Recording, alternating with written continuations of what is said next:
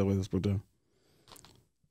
The I've had maybe a few 21s and 25 year olds that they say that they're there. Um, they actually got a foot in the door after after school and stuff like that. Education was already completed. They got their foot in the door to that job that they're gonna actually looking for the long term. They're gonna do their 12 to 15 years and you know get their all their benefits and all that stuff and out there like that. Income's gonna climb up, have salary. Um, they're asking for what is the what is the next step? Like once they have their career set, like what would you recommend?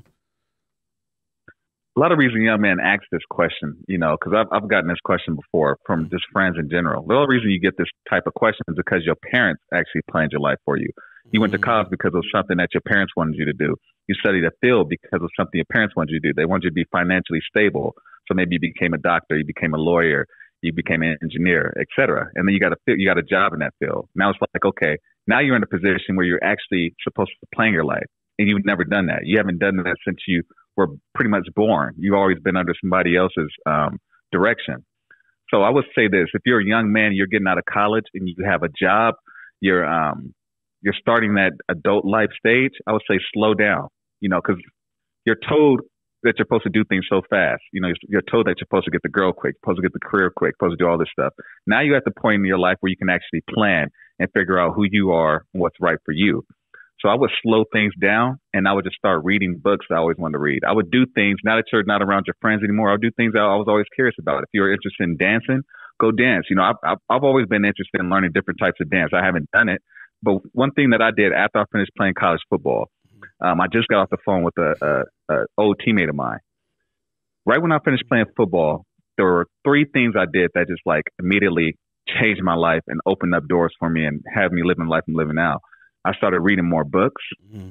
I started, I taught myself how to play classical guitar. I grew up rapping a lot with my friends and I just never took it serious. I told them if I ever take it serious, I'm going to learn how to play an instrument. Mm. And then I got into martial arts. You know, I started martial arts when I was 18, but I couldn't commit to it because of just football. was football in school. Mm. So once I finished that, I got back into martial arts mm. and doing things that I love that make me who I am. It just, it, it, it, it, make, it it gives me good energy. You know what I'm saying? It makes it, it, it has me waking up every day because I have something to live for and something mm. to look forward to. Okay. You can answer the next question. And um, they, like, I've, I've set some things like that and be able to set them to where, like, it helps them identify with themselves and who they are and what they love, like a passion. Like, they, they're always still worried about how does that woman, how can I find a girl that's going to fit into all this that I'm, that I'm liking? You don't find the woman that's going to fit into your life until you find out who you are. Mm. That's the truth. Okay. You know, you have to you have to date. You have to get your heart broken. You have to be put your. You have to be really.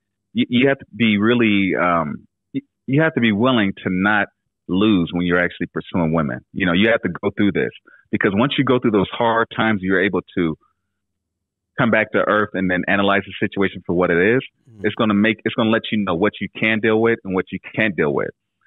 And secondly, after that, after you went through that stage, you have to have a plan for your life because a woman can't follow you if you have no plan. You need something for a woman. You need something for a woman to step into. Mm. Like I said, um, I'm doing things right now. You're doing things. We're hustling. We're building our a name, our brand. Yeah. So any woman that we're dealing with, they're going to have to step into that and complement that and work with that. If they're going to try to prevent us from actually hustling and doing the things, follow, following the journey, the direction that we want to follow, then we know that that woman is not for us. And a lot of times, the woman that you think, like the woman you ideally think is going to be right for you, mm. in most cases, that won't be the right woman. You know, sometimes the person that's right for you may not look the way you expected them to look, but exactly. they may fit exactly where you need them to fit.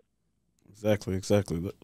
Piggyback onto my next question is gonna be: um, I've had a, a little handful of guys that like just like they they understand it. You can tell that they they hear and they know that that woman's not right, but they're still they don't care. They they still want that woman. Like um, I had a guy that's like real had a few questions on how to get around um, a couple bumps in the road with uh, said a woman that was just very like really assertive. It's actually uh, one of his bosses at, at a job.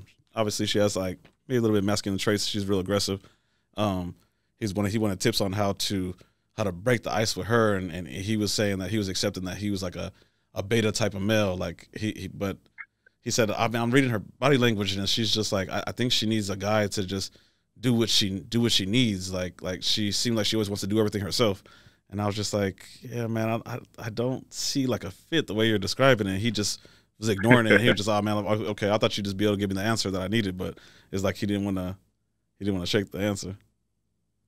I can't say too much about this woman because you know, um, you just everybody's different. You can't control people. Mm. But I will say this: the reason that men deal with women who are cooperative or who give them a hard time, and it goes the same. It goes the same way for men who deal with men in their circles who are giving them a hard time or just aren't supportive. It comes down to you. On some level, you don't like yourself. You're insecure. You don't think you're good enough. You don't think you deserve better. Mm. So you settle for that. You know, because if, if you loved yourself and you set a standard and you had boundaries, you wouldn't even be asking that question. You know what I'm saying? That person wouldn't even be in your life. It's mm-hmm. the same thing for friends. Friends who you loved and you grew up with that have your back, and then they start hating on you when you're doing something. Mm-hmm. The reason you keep them uh, you keep them around, yes, you have that emotional connection to those people, but it's on some level you feel like you deserve the type of uh, treatment that they're giving you. So I would ask myself the question like, why why am I dealing with this woman when there's other women who are kinder, who are willing to treat me better? Very very true. Where like where would you recommend for him to look like elsewhere. Obviously, he's it's easier to be around same people eight hours a day at work and stuff like that. Like, like what would you recommend to per se to say, hey man, look, maybe just add put more eggs in your basket. You know, like just don't focus on this one. Maybe someone else fits. Like where where should he search? It's dangerous dating women on the job because um, you can basically lose what you built. Mm-hmm. But I would say if you're trying to meet women, I would say first off, you know, make sure that you're presentable make sure that you're in shape. Do the best that you can to get in shape. Dressing well goes a long way, mm-hmm. regardless of what your body type is. If you mm-hmm. dress well, so make sure those two things are on point. And then after that, you can meet women every anywhere, man. You can go to the gym and meet women. You can meet women at yoga. I'm not sure your boy is located, but you can meet women at like um, I want to say like dance clubs or stuff like that. Mm, okay. But just the best thing that you should do, a lot of times when you're speaking to a woman, you're already thinking, I used to do this, you're already thinking what it would be like to sleep with that woman. Mm. You shouldn't go that fast mm. in your mind. You should be thinking like, I need to figure out who this woman is. I want to get to know her. I want to see, make sure she's not crazy. I promise you, if you have that mindset, conversation will go a lot more smoothly because you're actually vetting this woman rather than just trying to say the right things and do everything to get in her pants. Okay. Okay, I can see that.